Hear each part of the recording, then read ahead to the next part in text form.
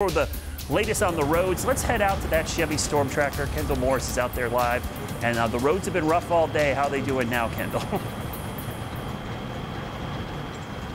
Well, Brad, we must have hit one of those patches where it is clear right now, but we are headed towards some of those spots that you just mentioned where there are heavier bands of rain. Here's a look at what we're seeing right now. We are on I-485 on the outer loop heading west here, and you can see not much on the roads right now where we're at. So with all clear and you've got drivers that are definitely going fast today. Uh, the windshield wipers not on. There is a slight little sprinkle on our windshield, but not too bad for your evening commute in this part of Mecklenburg County. But again, we are heading to some of those areas where they are seeing a little bit more rain. So we'll keep you posted on what the conditions are like in that area. So reporting live from the Chevy Storm Tracker, Kendall Morris, back to you.